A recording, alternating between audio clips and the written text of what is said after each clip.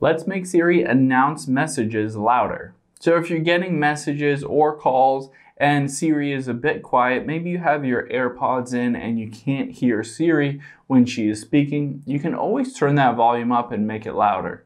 So to do that, let's hop into our settings and we'll scroll down and tap on Siri and search. The first thing that you could do, for instance, is go into that Siri voice here and choose a different accent that you like better and maybe is a bit louder. Some of them are a bit more soft spoken than others. So you can, for instance, go to American here and choose a different voice so that you'll be able to hear it a bit better. So that's one option. But if you like that Siri option, that Siri voice that you currently have, you don't need to do this. The second thing that you'll want to do is you'll want to say, Hey Siri, and while Siri turns on, you want to turn this slider all the way up. So you can see at the very top here, Siri and dictation. The microphone is on, and you can see that this slider, the volume is all the way up.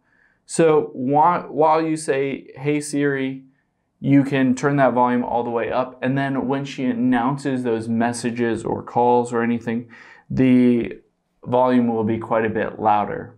You can also always just activate it through saying, Hey Siri, turn the volume up. This is as loud as it gets. So she will tell you if she can turn the volume up, or Hey Siri, make it quieter.